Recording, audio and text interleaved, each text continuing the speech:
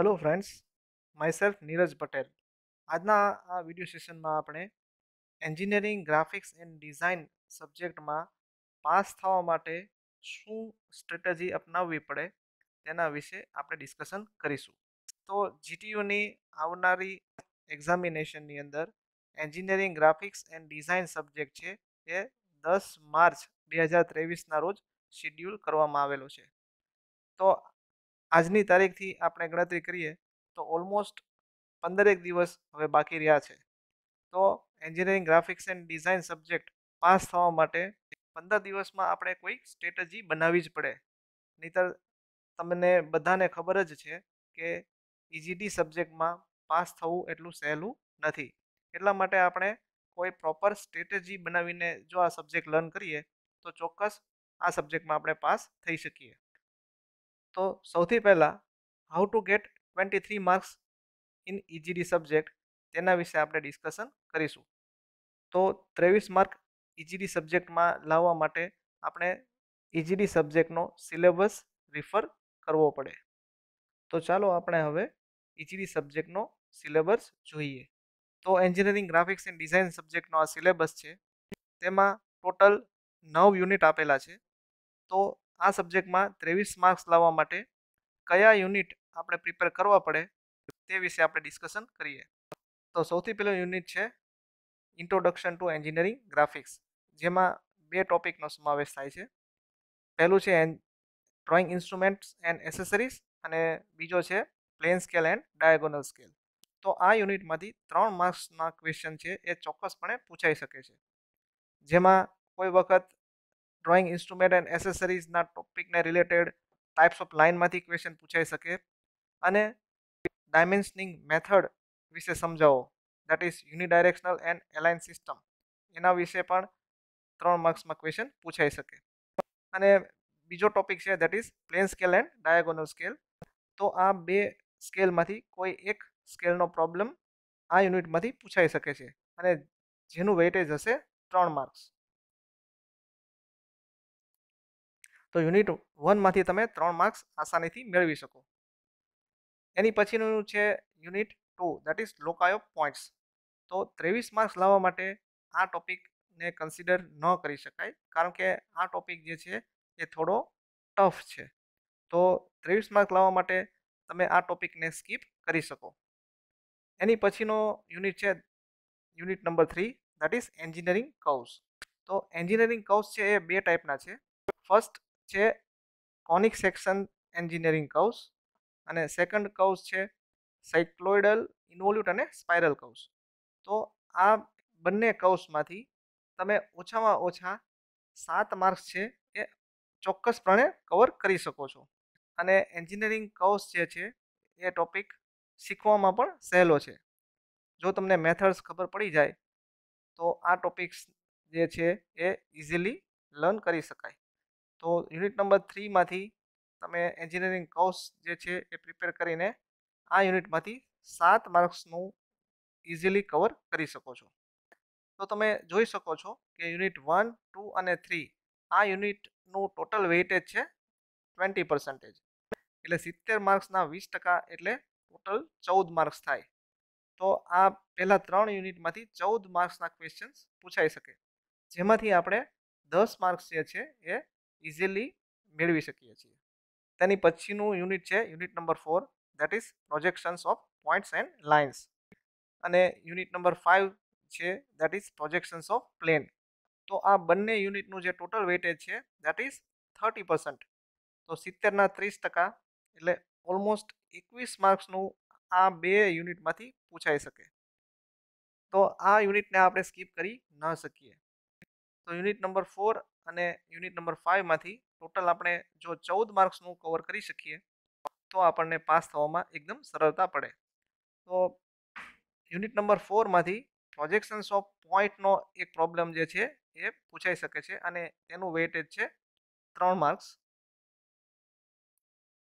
અને projections of line topic છે, તેમાંથી પણ ઘણા બધા માર્ક્સના પ્રોબ્લેમ જે છે એ પૂછાઈ શકે છે. પરંતુ પ્રોજેક્શન ઓફ લાઇન ટોપિક જે છે, એ થોડો ડિફિકલ્ટ ટોપિક છે. તેમાં તમારે ઘણા બધા કન્સેપ્ટને લર્ન કરવા પડે, તો જ તમે પ્રોજેક્શન ઓફ લાઇનનો પ્રોબ્લેમ સોલ્વ કરી શકો. પરંતુ એક્ઝામમાં પ્રોજેક્શન્સ ઓફ લાઇનના બેથી ત્રણ પ્રોબ્લેમ પૂછાતા જ હોય છે. તેમાં અલગ અલગ ક્વોડ્રન્ટના પ્રોબ્લેમ પૂછાય છે. જેમ કે ફર્સ્ટ ક્વોડ્રન્ટ અથવા તો combination of first and second quadrant અથવા તો combination of first and third quadrant વગેરે. તો જો ઇન્ડિવિડ્યુઅલ ફર્સ્ટ ક્વોડ્રન્ટના પ્રોબ્લેમ જો પૂછાય, તો એને સોલ્વ કરવા ખૂબ સહેલા છે. તો પ્રોજેક્શન્સ ઓફ લાઇન ટોપિકમાંથી તમે ચાર માર્ક્સ તો ચોક્કસ કવર કરી શકશો. તો પ્રોજેક્શન્સ ઓફ પોઈન્ટ્સ એન્ડ લાઇનમાંથી તમે સાતેક માર્ક્સનું કવર કરી શકો. એની પછીનું છે unit number five that is projections of plane તો આ ટોપિકમાંથી પણ ઓછામાં ઓછા બે પ્રોબ્લેમ પૂછાઈ શકે છે અને દરેકના સાત માર્ક્સ હોય છે. અને આ પ્રોજેક્શન ઓફ પ્લેન ટોપિક પણ લર્ન કરવો ઘણો સહેલો છે. તેમાં એક સરખી પેટર્નના જ પ્રોબ્લેમ જે છે એ સોલ્વ કરવાના થાય છે. ફક્ત જે પ્લેન જે છે એ અલગ અલગ આપેલા હોઈ શકે. જેમ કે triangle, square, rectangle, pentagon, hexagon, circle ellipse વગેરે. તો આ પ્લેનનું પ્રોજેક્શન ડ્રો કરવું એ ખૂબ સહેલું છે અને ઇઝી છે. તો આ યુનિટમાંથી તમે સાત માર્ક્સ તો ચોક્કસ મેળવી જ શકો. તો યુનિટ નંબર ફોર અને ફાઇવમાંથી ટોટલ આપણે ચૌદ માર્ક્સ કવર કરી શકીએ. તો યુનિટ એકથી પાંચના ટોટલ માર્ક્સ થાય છે ચોવીસ. રાઈટ પરંતુ ફક્ત ચોવીસ માર્ક્સની પ્રિપરેશન કરવાથી આપણે ચોવીસમાંથી ત્રેવીસ માર્ક્સ ના આવે. તેના માટે એટલીસ્ટ પાંત્રીસ માર્ક્સની આપણી જો પ્રોપર પ્રિપરેશન હોય, તો પાંત્રીસમાંથી આપણે ત્રેવીસ માર્ક ચોક્કસ લાવી શકીએ. તો તેના માટે બીજા યુનિટમાંથી પણ આપણે થોડી ઘણી પ્રિપરેશન કરવી પડશે. એની પછીનું યુનિટ છે unit number six. That is projections of solids sections of solids and development of surfaces જો તમે ત્રેવીસ માર્ક્સ પૂરતી જ પ્રિપરેશન કરો છો, તો યુનિટ નંબર છને તમારે સ્કીપ કરવું પડે. કારણ કે યુનિટ નંબર છ જે છે, એ થોડું ડિફિકલ્ટ યુનિટ છે. તેની પછી છે unit number seven that is orthographic projections તો આ ખૂબ જ ઉપયોગી ટોપિક છે અને કન્સેપ્ચ્યુઅલી પણ ખૂબ સરસ ટોપિક છે. બીજા યુનિટની આપણે વાત કરીએ, તો બીજા યુનિટમાં જે પ્રોબ્લેમ છે તે સેન્ટેન્સના સ્વરૂપે તમને આપેલો હશે. અને સેન્ટેન્સ તમારે સમજીને તેનું સોલ્યુશન કરવું પડે. પરંતુ ઓર્થોગ્રાફિક પ્રોજેક્શન્સ એ એવો ટોપિક છે, જેમાં ક્વેશ્ચનમાં તમને થ્રીડી ફિગર આપેલી હશે અને એ થ્રીડી ફિગર ઉપરથી તમારે તેના અલગ અલગ વ્યૂ ડ્રો કરવાના છે. એટલે જવાબ છે એ ફિગરમાં જ આપેલો છે, ફક્ત તમારે એને ફાઇન્ડ કરવાનો છે. એટલું જો તમારી ઇમેજિનેશન સ્કિલ છે એ ડેવલપ થઈ જાય તો આ ટોપિક લર્ન કરવો ખૂબ સહેલો છે. અને યુનિટ નંબર સેવનમાંથી એક ડિફરન્સ પણ પૂછાઈ શકે છે. That is difference between first angle projection method and third angle projection method તો એ થિયરી પણ ઓર્થોગ્રાફિક પ્રોજેક્શનમાંથી પૂછાઈ શકે, જેનું વેઇટેજ હશે ત્રણ માર્ક્સ પ્લસ આ ઓર્થોગ્રાફિક પ્રોજેક્શન્સ ટોપિકમાંથી એક પ્રોબ્લેમ પૂછાશે અને પૂછાશે કમ્પલસરી અને ક્વેશ્ચનમાં તમને એક થ્રીડી ફિગર આપેલી હશે. અને એ થ્રીડી ફિગર પરથી તમારે એ ફિગરના અલગ અલગ વ્યૂઝ જેમ કે front view top view side view એ ડ્રો કરવાના થશે. તો જવાબ છે એ ફિગરમાં જ આપેલો છે. ફક્ત તમારે એને ફાઇન્ડ કરવાનો છે.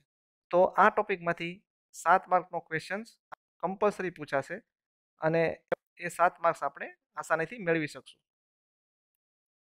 તો યુનિટ નંબર સેવનનું ટોટલ વેઇટેજ થશે દસ માર્ક્સ. અને તેની પછીના બે યુનિટ છે, યુનિટ નંબર એટ અને nine. That is isometric projections and isometric view or drawing and computer aided drawing તો યુનિટ નંબર આઠ અને નવ, આ બંને યુનિટને તમે સ્કીપ કરી શકો છો. તો ત્રેવીસ માર્ક્સ લાવવા માટે આપણે unit number one, unit number three, unit number four, unit number five અને યુનિટ નંબર સેવન. આટલું જ પ્રિપેર કરવાનું છે અને આટલા યુનિટના જે ટોટલ માર્ક્સ થાય છે એ ચોત્રીસ માર્ક્સ થાય છે. તો જો તમે આ ચોત્રીસ માર્ક્સનું બરાબર પ્રિપેર કરી લો, તો ચોત્રીસમાંથી ત્રેવીસ માર્ક્સ છે એ તમે આસાનીથી લાવી શકો છો. તો આ સબ્જેક્ટમાં ત્રેવીસ માર્ક્સ લાવવા માટે મેં તમને જે યુનિટ કીધા છે, એ યુનિટ ઉપર પૂરતું ધ્યાન આપો, તો ત્રેવીસ માર્ક્સ આસાનીથી લાવી શકો અને આ સબ્જેક્ટમાં પાસ થઈ શકો. તો આ થઈ ઇજીડી સબ્જેક્ટમાં ત્રેવીસ માર્ક્સ લાવવા માટેની સ્ટ્રેટેજી. હવે જો કોઈ સ્ટુડન્ટ્સ છે એ ત્રેવીસ કરતાં થોડા વધારે માર્ક્સ લાવવા માગે, એટલે કે એવરેજ માર્ક્સ લાવવા માગે, તો તેણે કયા ટોપિક વધારાના પ્રિપેર કરવા પડે તેની માટે આપણે ડિસ્કશન કરીએ. તો ત્રેવીસ કરતાં જો તમારે વધારે માર્ક્સ લાવવા હોય, તો થોડા યુનિટ છે એ તમારે વધારે પ્રિપેર કરવા પડશે. જેમ કે યુનિટ નંબર ટુ જે છે એ પ્રિપેર કરો તો ચાર માર્ક્સ જે છે એ વધારે લાવી શકો. આ યુનિટમાં simple mechanism, slider crank mechanism અને ફોર બાર મિકેનિઝમના પ્રોબ્લેમ પૂછાય છે. અને આ ત્રણ મિકેનિઝમમાંથી કોઈ એક મિકેનિઝમનો પ્રોબ્લેમ પૂછાઈ શકે જેના ચાર માર્ક્સ હોઈ શકે. તેની પછી તમારે થોડા વધારે માર્ક્સ લાવવા માટે યુનિટ નંબર એટ પ્રિપેર કરવું પડે. તો એ છે આઇસોમેટ્રિક પ્રોજેક્શન્સ. તો જો તમે unit number seven orthographic projection છે, એ એકદમ સરસ રીતે પ્રિપેર કરેલું હોય, તો આઇસોમેટ્રિક પ્રોજેક્શન્સ પણ તમે આસાનીથી ડ્રો કરી શકો છો. ઓર્થોગ્રાફિક પ્રોજેક્શન્સની અંદર એક થ્રીડી ફિગર આપેલી હોય છે, અને એ થ્રીડી ફિગરના અલગ અલગ વ્યૂઝ જેમ કે front view top view side view વગેરે દોરવાના હોય છે. એટલે કે ઓર્થોગ્રાફિક પ્રોજેક્શન્સમાં થ્રીડી વ્યૂમાંથી ટુ ડી વ્યૂઝ ડ્રો કરવાના હોય છે. જ્યારે આઇસોમેટ્રિક પ્રોજેક્શન્સ ટોપિકની અંદર કોઈ એક ઓબ્જેક્ટના ફ્રન્ટ વ્યૂ અને ટોપ વ્યૂ અથવા તો ફ્રન્ટ વ્યૂ અને કોઈ એક સાઇડ વ્યૂ આપેલા હોય છે અને એ બે વ્યૂઝમાંથી તમારે થ્રીડી ઓબ્જેક્ટ ક્રિએટ કરવાનો હોય છે. એટલે કે ક્વેશ્ચનમાં તમને ટુ ડી ઓબ્જેક્ટ આપેલો હશે અને એ ટુ ડી ઓબ્જેક્ટ્સ પરથી તમારે તે ઓબ્જેક્ટને થ્રીડીમાં કન્વર્ટ કરવાનો છે. તો એ પ્રોસેસ જે છે એ ઓર્થોગ્રાફિક પ્રોજેક્શન્સની એકદમ રિવર્સ પ્રોસેસ છે. અને યુનિટ નંબર આઠ, આઇસોમેટ્રિક પ્રોજેક્શન્સમાંથી એક પ્રોબ્લેમ ચોક્કસ પૂછાતો જ હોય છે અને એનું વેટેજ હોય છે સાત માર્ક્સ. પ્લસ તમારે થોડા વધારે માર્ક્સ લાવવા માટે યુનિટ નંબર નાઇન પણ પ્રિપેર કરવું પડે. That is computer aided drawing તો એની અંદર ઓટોકેડના કમાન્ડ જે છે એ પૂછાતા હોય છે અને એ ઓટોકેડના કમાન્ડ તમે કઈ રીતે એપ્લાય કરો તો કમ્પ્યુટરની અંદર અલગ અલગ ફિગર ક્રિએટ થાય તેના વિશેના કમાન્ડ વિશે તમને પૂછાતું હોય છે. તો આ ટોપિક પણ સહેલો છે અને આ ટોપિકને લગતા બે વીડિયો પણ મેં મારી યુટ્યુબ ચેનલમાં અપલોડ કરેલા છે. જો તમે તે જોશો તો તમે ચોક્કસ રીતે આ ટોપિક જે છે એ લર્ન કરી શકશો અને આ ટોપિકમાંથી પણ તમે માર્ક્સ મેળવી શકશો. તો યુનિટ નંબર નાઇનનું જે વેઇટેજ છે એ દસ ટકા છે. એટલે કે આ યુનિટમાંથી તમને સાત માર્ક્સના ક્વેશ્ચન કમ્પલસરી પૂછાશે. તો તમે હવે જોઈ શકો છો કે unit number one, two, three, four five seven, eight અને નાઇન જો આટલા યુનિટ તમે પ્રિપેર કરો છો, તો તેનું ટોટલ વેઇટેજ થાય છે પંચાવન માર્ક્સ અને જો તમે પંચાવન માર્ક્સની પ્રિપેરેશન કરો, તો પંચાવનમાંથી તમે ચાલીસથી પિસ્તાલીસ માર્ક્સ જે છે એ આસાનીથી મેળવી શકો છો. તો આ હતી ઇજીડી સબ્જેક્ટમાં આપણે ચાલીસથી પિસ્તાલીસ માર્ક્સ એટલે કે એવરેજ માર્ક્સ કઈ રીતે લાવી શકીએ તેની સ્ટ્રેટેજી અને જો કોઈ સ્ટુડન્ટ્સ આ સબ્જેક્ટમાં ડબલ એ ગ્રેડ લાવવા માગે છે, તો તેણે જે છેલ્લું યુનિટ આપણે બાકી રાખેલું છે that is unit number six તે પણ પ્રિપેર કરવું પડે. આ યુનિટની અંદર ટોટલ ત્રણ અલગ અલગ ટોપિક આપેલા છે. પહેલો છે પ્રોજેક્શન્સ ઓફ સોલિડ બીજો છે સેક્શન્સ ઓફ સોલિડ અને ત્રીજો છે ડેવલપમેન્ટ ઓફ સરફેસીસ તો આ ત્રણેય એકદમ અલગ ટોપિક છે. તો સૌથી પહેલાં આ ત્રણ ટોપિકમાંથી ડેવલપમેન્ટ ઓફ સરફેસીસ ટોપિક છે એ લર્ન કરવો જોઈએ. કારણ કે કમ્પેરેટિવલી એ ટોપિક જે છે એ સહેલો છે. તેની પછી સેક્શન્સ ઓફ સોલિડ ટોપિક છે એ પ્રિપેર કરવો જોઈએ. અને છેલ્લે પ્રોજેક્શન્સ ઓફ સોલિડના પ્રોબ્લેમ સોલ્વ કરવા પડે. પ્રોજેક્શન્સ ઓફ સોલિડ ટોપિક છેલ્લે રાખવાનું કારણ એ છે કે એ ટોપિક છે એ બહુ જ લેન્ધી છે. એટલા માટે સૌથી પહેલાં મેં આ યુનિટમાંથી ડેવલપમેન્ટ ઓફ સરફેસીસ ક્લિયર કરવાનું કીધું, પછી સેક્શન ઓફ સોલિડ્સ અને છેલ્લે પ્રોજેક્શન ઓફ સોલિડ પ્રિપેર કરી શકાય. તો જો આ યુનિટ નંબર છ પણ તમે વ્યવસ્થિત પ્રિપેર કરો, તો એનું વેઇટેજ છે પંદર ટકા. તો આપણે જે આગળ કેલ્ક્યુલેશન કરી, તેમાં ટોટલ પંચાવન માર્ક્સની ગણતરી આપણે કરી, તો સિત્તેરમાંથી બાકી પંદર માર્ક્સ રહે છે. જે પંદર માર્ક્સનું યુનિટ નંબર છમાંથી પૂછાઈ શકે છે. તો આપણે જે રીતે ઇજીડી સબ્જેક્ટમાં ત્રેવીસ માર્ક્સ કઈ રીતે લાવવા એવરેજ માર્ક્સ કઈ રીતે લાવવા અને ડબલ એ ગ્રેડ કઈ રીતે લાવવો, તેના વિશે ડિસ્કશન કર્યું. એ પ્રમાણે જો તમે પ્રિપરેશન કરો, તો આ રિઝલ્ટ તમે મેળવી શકો. હવે આ સબ્જેક્ટની પ્રિપરેશન કઈ રીતે કરી શકાય? તેના માટે મેં એન્જિનિયરિંગ ગ્રાફિક્સ એન્ડ ડિઝાઇન સબ્જેક્ટની યુટ્યુબ ચેનલ બનાવેલી છે. તો તમે યુટ્યુબમાં જઈને નીરજ પટેલ એન્જિનિયરિંગ ગ્રાફિક્સ તમે સર્ચ કરશો તો તમને મારી ચેનલ છે એ મળી જશે.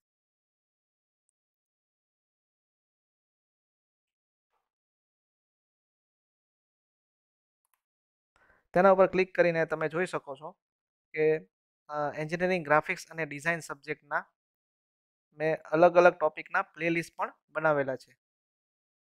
તો તમે જોઈ શકો છો કે પહેલા યુનિટથી નવમા યુનિટ સુધીના દરેક ટોપિકના વિડીયોઝ મેં બનાવેલા છે. તમે જોઈ શકો છો કે અહીં રિપ્રેઝેન્ટેટિવ ફ્રેક્શન પ્લેન સ્કેલ અને ડાયાગોનલનો પ્લેલિસ્ટ છે. એની પછી લોકાયો પોઈન્ટ્સ એની પછી છે કોનિક સેક્શન એન્જિનિયરિંગ કર્વ્સ એની પછી છે cycloidal involute and spiral curves projection of point and line projection of plane projection of solid section of solid development of lateral surfaces orthographic projections isometric projections અને engineering drawing equipment તો આ બધા જ topic જે છે એ available છે અને એની અંદર મેં ખૂબ સારા વિડીયોઝ જે છે એ પોસ્ટ કરેલા છે. તમે કોઈ પણ ટોપિકના પ્લેલિસ્ટ ઉપર જઈને મારા વીડિયો જોઈને તમે આ સબ્જેક્ટ જે છે એ આસાનીથી શીખી શકો છો. તો દરેક વિદ્યાર્થીને અપકમિંગ જીટીયુ એક્ઝામિનેશન માટે all the best and thanks for watching